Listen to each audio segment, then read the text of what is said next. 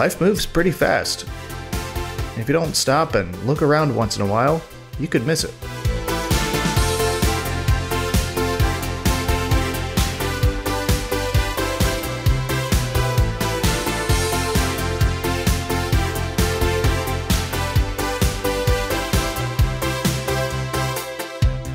Welcome to Cameraderie, a subsidiary of Freddie Westman Enterprises. Today's episode is sponsored by the Ohio River Scenic Byways Committee for the Reduction of Traveling Through Endless Cornfields on the way to Chicago. So, a few weeks ago, me and my brother Clint drove up to Elmhurst, Illinois to attend the 17th edition of the Vintage Computer Festival Midwest pretty much the same idea as last year. Spend a couple days exhibiting and recording and chatting and hanging out with a similarly minded group of retro tech enthusiasts and then just make our way into Chicago and hang out there for a few days and just just, just do stuff in Chicago. So that's what that's what this video is. And along the way, while we're taking in the sights and sounds and smells of the city, I would was planning to just blow through a bunch of film, like way too much, like like way too much, much much. Uh, like 30 rolls, almost. Think I might have brought too much film? What is this? But I'm getting ahead of myself. Uh, this is gonna be a fairly long video, so grab your favorite bevy, sink into your third favorite chair, and enjoy the ride or have a good time or whatever. Speaking of ride, the ride up was quite long. It was about a 12 hour trip from North Carolina to Illinois once you account for gas stops, food stops, and messing around with the GoPro stops. We took a slightly different route this time, and we were able to skip over a fair amount of the massively monotonous meadows of maize courtesy of the Ohio River Scenic Byway.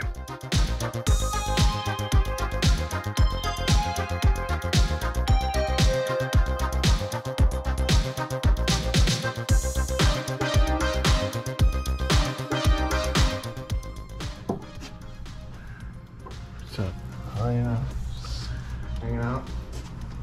224. my cribs. With all of that out of the way, it was time to get our bearings, get some beef, and get some sleep. Because we had a long weekend ahead of us. oh, you can get a. I might have to get a side of gravy. Extra gravy.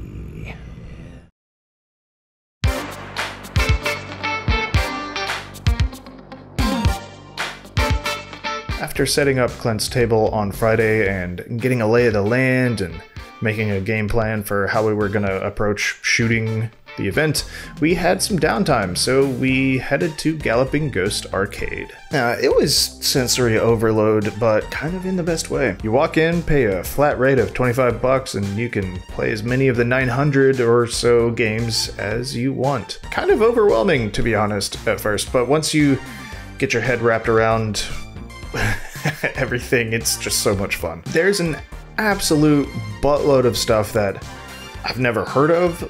Well, I mean, obviously, uh, there's like 900 games there, but there's also stuff I've never gotten a chance to play, but I've always wanted to, like the Star Wars Pod Racer game, which was just an absolute blast. As well as unheard of gyms that quickly became a favorite for both me and Clint like Metamorphic Force, which is a homoerotic beat 'em up filled with vibrant colors and furry beefcake heroes. What more can you ask for? We got there around 2:30 or so in the afternoon and the next thing you know it's after 7 and the sun's going down so we actually missed our dinner plans with the VCF folks. As much of a good time as that first night before the show dinner is with everyone. I'm really glad we hadn't eaten supper yet because uh, uh, it would have been making an encore appearance once we got our hands on the Sega R360. So after checking out the pinball building of Galloping Ghost, a couple random dudes on the sidewalk were like, "Hey, you're LGR, right? Do you want to follow us into the back of an abandoned Chinese restaurant?" We've got an 8 foot tall Japanese behemoth of a game that needs its own electrical breaker to operate. And of course, we were like, yeah, no, that sounds great. I'd never heard of the Sega R360. Uh, Clint had, obviously, because he's a giant dork. But it's basically a giant mechanized spinning ball that can simulate things like flying jets. I would imagine they have other games for it, but I, you know, that's all we, that's all they had. Um, it's just absolutely wild. It's so much fun. And I guess you could say that thanks to those two guys, Brandon and Phil, we had a ball. Because it's it's kind of a ball, you know. It's sort of a you know it's spherical. It's not really a ball, you know. You can after we did pretty well on our Constitution saving throws, it was back to the Clarion in Waterford Convention Center to make sure that everything was in place and ready to go for the next day. I have a couple tasty local brews supplied by some of the other exhibitors, just kind of hang out, check out some machines, and just, you know, just wait for the madness to start. Now, last year's festival was a lot of fun, and this year was no different. I mean, it, it, it was a lot different. I'm just saying that it was also fun this year. Plus, I had a much better idea of what to expect from a filming standpoint. For instance, we just completely forgot to get establishing shots of the venue or of Clint's table last year, which left us feeling rather silly. And there was no silliness to be had this year, no sir. Otherwise, my second VCF MW experience was an absolute belter. Met up with just about everybody I ran into last year and met loads of awesome new people and ogled all of the exhibits with my eyeballs because that's usually what you ogle things with, right? Some personal favorites were the Apple Lisa, the Weather Channel computers, the Ansa phone, and the Topo robots. I wish they could have a demo or something of them moving around and doing robot things, but I, I, get why that's impractical at an event of this size and with this many people.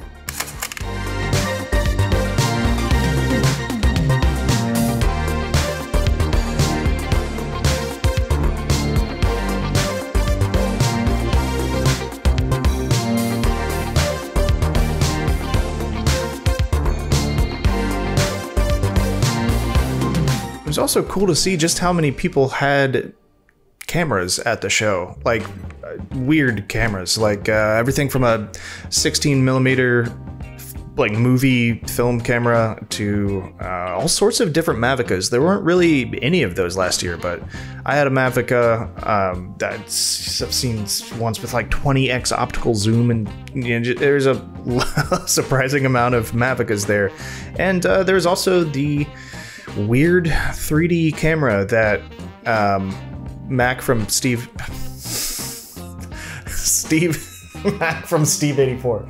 Steve from Mac 84 had this weird little, like, early digital 3D camera um, that was the Fujifilm FinePix Real 3D W3 which just really rolls off the tongue. But I guess it just kind of goes to show that there's a surprising amount of overlap between these two fields of interest. I guess some people just like inconvenient and expensive hobbies. If you want to see more of a vintage computer festival Midwest centric uh, video, be sure to check out uh, LGR's video. Still sound, I don't know, LGR's Clint's. Check out the video in the description, or, well, there's a link to it in the description, or um, if I remember to put one up top, there's one up top as well. For now, let's get to Chicago. Or uh, Oak Park, rather. After a long weekend of retro computer action, we settled in at the Carleton Inn of Oak Park. Welcome. we wound up getting rooms in the wing of the building that was originally built for the Columbian Exposition in 1893, which I think is pretty neat. We were pretty beat after exhibiting for a few days, so we just grabbed some food at Poor Phil's, which was the hotel's on site pub, and explored a little bit of Oak Park. But then we just turned in for the night.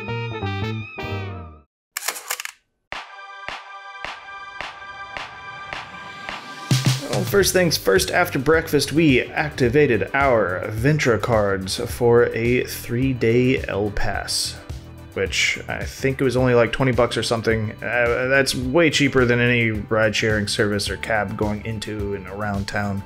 And it allowed us to not have to worry about driving in or finding parking in the city. Luckily, the Green Line ends, uh, or starts, I guess, depending on how you look at it, at the Harleman Lake Station, just a block or two down from the Carleton. I'm a huge fan of public transit, good public transit, and I think that the L takes the W, at least compared to my admittedly limited experiences with the metro lines in uh, LA and DC. Regardless of which system is quote unquote better, it's definitely something I wish more cities took advantage of rather than being designed around car access with public transit, either a total afterthought or just completely unreliable. So we hopped on at Harlem and Lake, and 30 minutes later we got off at Adams and Wabash right where we wanted to start off our adventures in the Windy City.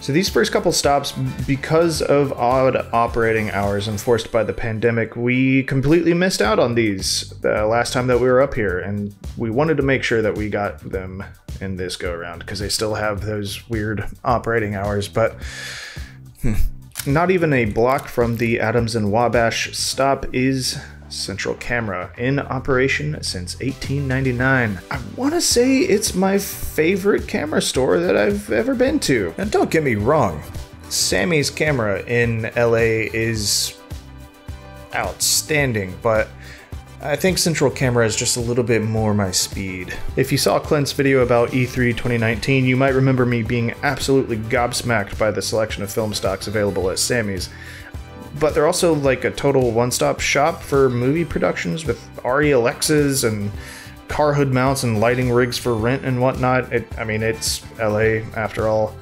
Whereas in contrast, Central Camera is just like a, a really well-equipped neighborhood camera store. I picked up several rolls of Kodak Ultramax 400 for my Nikon F2 since that stuff is basically always out of stock everywhere I look, as well as a good handful of 120 film for my Pentax 645. That's right, your boy finally took the plunge into medium format. And yes, there will be videos on that thing in the near future. And I also picked up some merch and a vintage leather camera strap. So basically, I just spent way too much money there, but it's all good. From there, the only other thing that we really had planned out for this entire trip was to hit up the Art Institute of Chicago, notable for its inclusion in John Hughes' seminal work Ferris Bueller's Day Off, and there is absolutely nothing else remarkable about it.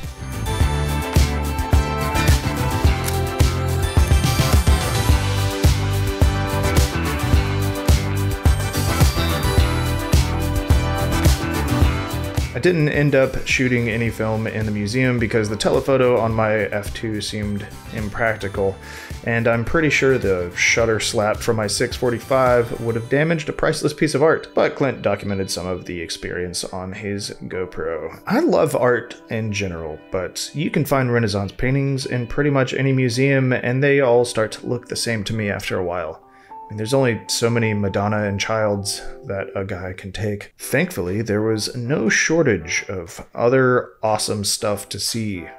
From parks to Picasso. Two exhibits in particular stood out to me because I've frankly never seen anything like them in any other museum. First, we had the Deering Family Galleries of Medieval and Renaissance Art, Arms, and Armor. I mean, this sword is taller than me, and I'm 6'3. As someone who grew up with a borderline bonkers obsession with medieval arms and whatnot, it was super fascinating to see the history of armor from different civilizations and the progression of techniques and technology from century to century. The other exhibit that really left an impression on me was the Thorne Rooms. Back in the 1930s, Narcissa Niblack Thorne hired a bunch, that's a mouthful of a name. Uh, she hired a bunch of craftspeople to make these 1 to 12 scale interior spaces as a means of providing employment to artists during the Great Depression. It's actually ridiculous the amount of detail that they were able to get into these tiny little spaces and with how they treat lighting. It, it can almost be it, it is disorienting to look at these and realize that they're not much bigger than like a box of printer paper. Now we didn't get to all of the museum. I mean, even the VMFA here in Richmond, it took me and Selena like three full days of visiting to properly absorb it all. And uh, yeah, the Art Institute is certainly more expansive than that. And plus, after several hours in a museum, I don't know about y'all, but for me, I, my mind is usually just spent. Like, there's. It's a different kind of uh, sensory overload, like too much input. But, you know, after a few hours, it's uh, time to move on. So it was back out into the fresh air, and we were like, well, that's basically what we had planned for the trip. What do you want to do for the next two and a half days? And to quote one Anakin Skywalker, This is where the fun begins. one of my greatest pleasures in life is simply wandering around, seeing what I see, and deciding spur of the moment to do stuff that I want to do and go where I want to go.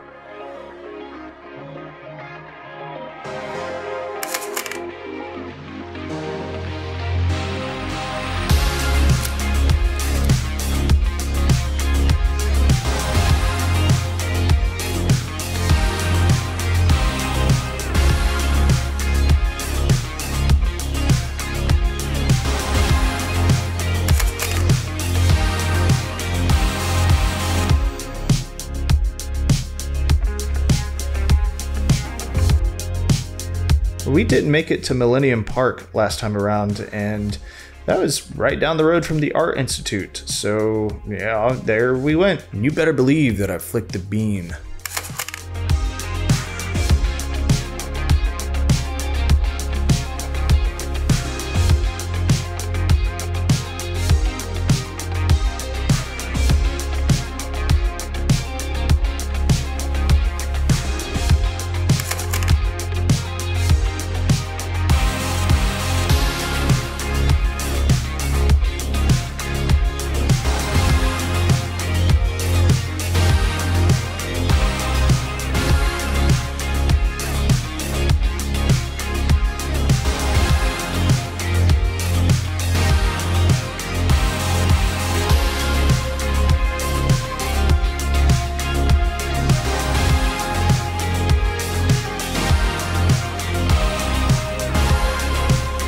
By this point, it was getting to be kind of late afternoonish, and we were pretty hungry. And I was finally able to experience Nando's. I hear so much about it from all the UK content I consume, and it definitely lived up to the hype I've built in my head. That peri peri chicken, man. Mm. From there, we found our way to where they start the riverboat architecture tours, so we decided to hop on and enjoy the city from a different perspective. Now, last time we got the Sears Tower glass box experience, so I guess this was basically the opposite of that.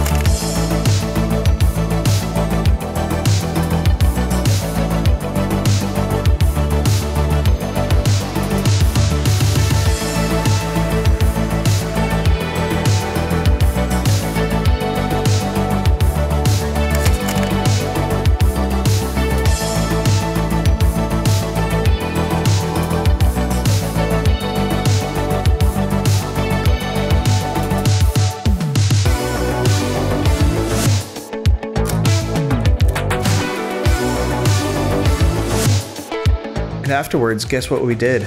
We walked around some more. A lot of our trip actually kind of ended up just being us walking around.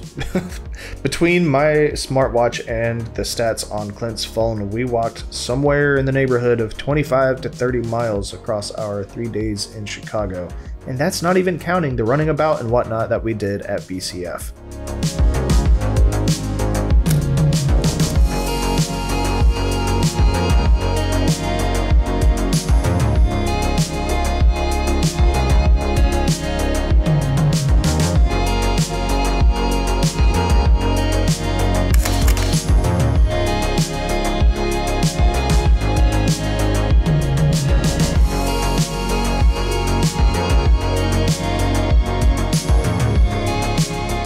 There's so much to take in though that I really didn't feel like I walked that far until we hopped back on the green line. Back to Oak Park. It's only when you stop that you notice just how much dogs are barking. But that was day one in the books. Day five or something of the actual of the whole trip. I don't know. The first day in Chicago in the books. And the next day we it was a little bit more leisurely you know, we didn't have to make sure that we were getting to the museum or getting to the camera store, which is good because they were both closed on that Tuesday and that Wednesday. Like I said, uh, their hours are weird now. Just make sure you look up their hours if you're interested in visiting. We found our way to uh, I forget. I think it's actually just called Untitled by Picasso. It's a whole little plaza kind of centered around this massive Picasso sculpture, which is pretty neat. We visited this last time. We saw this last time, but it's still just. I don't know. How often do you get to just see a Picasso sculpture? Uh, And that's massive in the middle of a city. I guess if you live in Chicago, or work there, you probably get to see it pretty often, but you know, we don't do either of those things. So, plus, it made for some good pigeon watching. It was getting to be around 2 o'clock or so in the afternoon, and we. I, I should say, I wanted to make sure to catch the Champions League match between Liverpool and Ajax. So we made our way to Theory. It's a little like bar, restaurant, pub, lounge thing that had a million TVs. So it was kind of nice to kick back and just be a couple of bros watching some sports and uh, yeah, not have to walk around for a couple hours. But then we did start walking around again and we made our way to uh, this beach close to Navy Pier.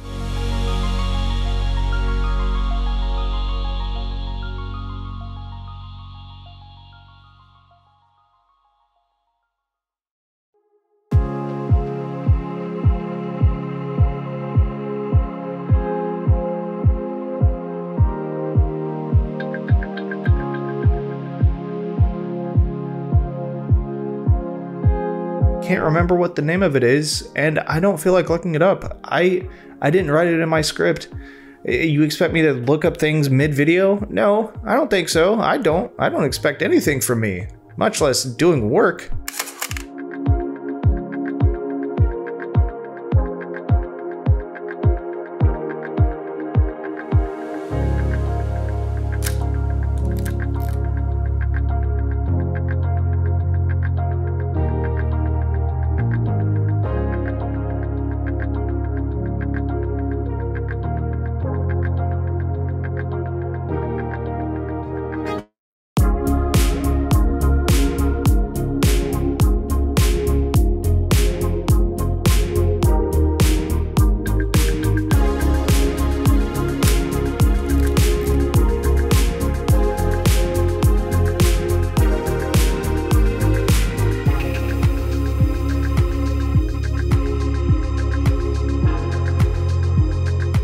And since we didn't have anywhere to be or anything to do the next day, we stayed out a little bit longer and got some good nighttime walking in. Gotta put that Cinestill 800T to use, you know? I mean, like, that's what it's for. Cities, at night, halations.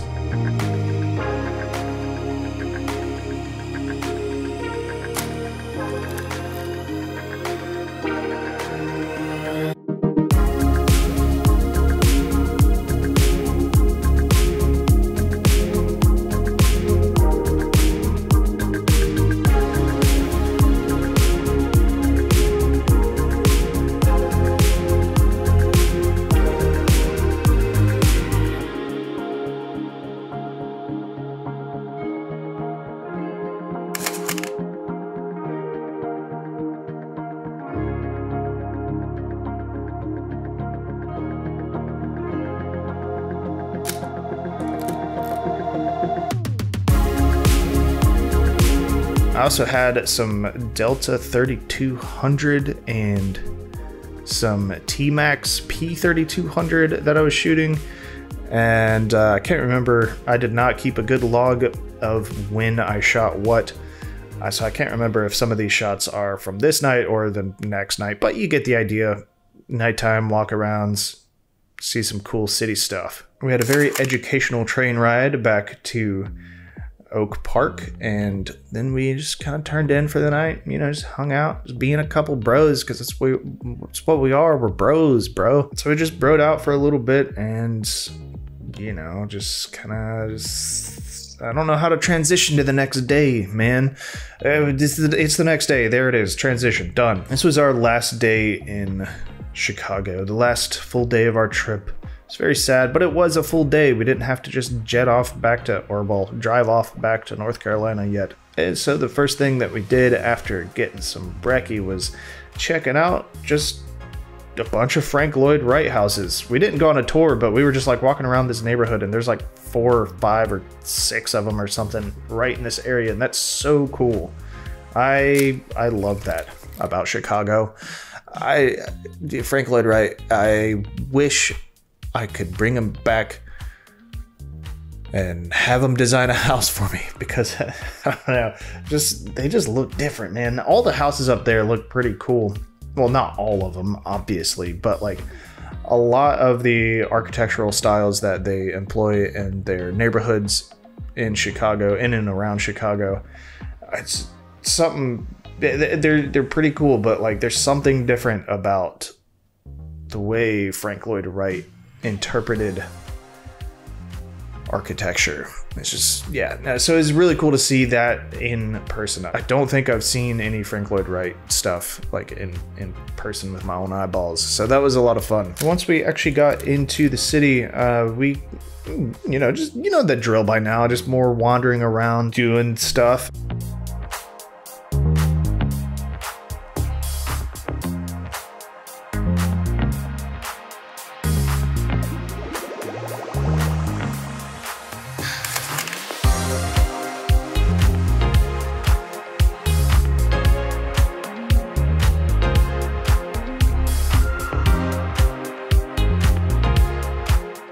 And uh, one of the things that we came across was this huge, huge, massive fountain. You want to know why they made it? Because they can, and they did, and it's really old. I think I don't think that was a Columbian Exposition thing, but is very, very old and very, very large.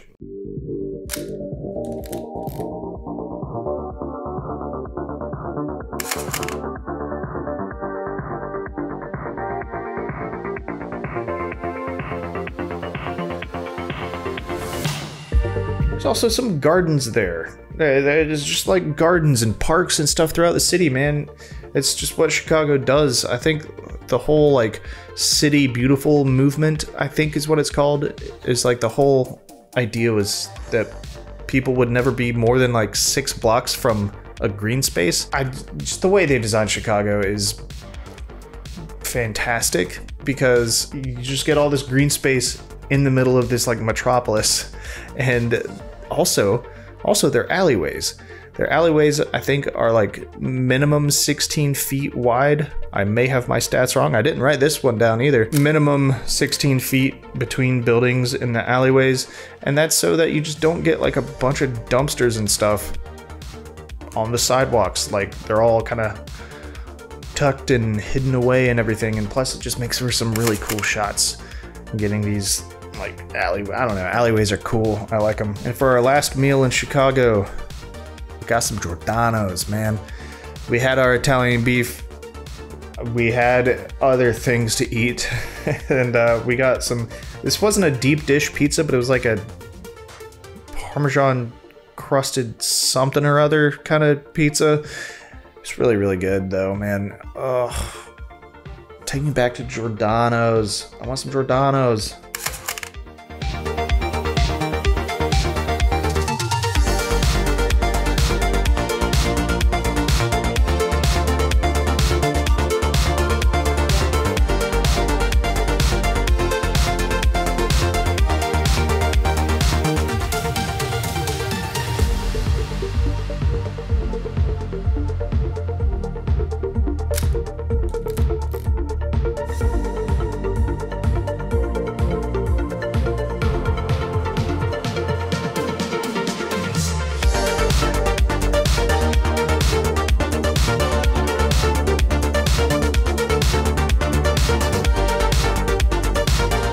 After Giordano's, you know, we just kept getting our steps in. So, you know, why not? We're only here for another night. So we got some more nighttime walkabouts in. And yeah, nah, I just love the way this city looks at night.